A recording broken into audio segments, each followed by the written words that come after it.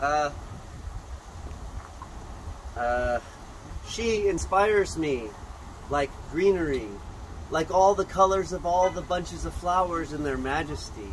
And I come from the land of the dead to serenade her. This life is an all-encompassing dream.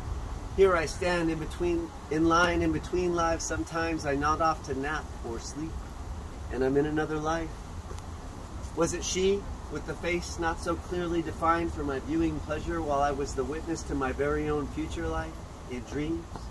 Surrounded by green leaves of the night, there was a light beyond the porch through a frosted glass door to the home that would be ours, or was it ours, or was it me?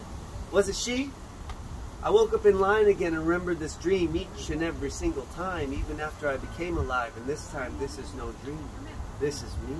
So please, humor me and tell me that I am a passing dream in the land of the living I'm serenading for you, as if for the sake of fantasy, or so it seems. But those greens, those greens that I see, grew from a seed that fell from a greater tree. Could I be hugging her, a tree, with my vines that I so know what to do with?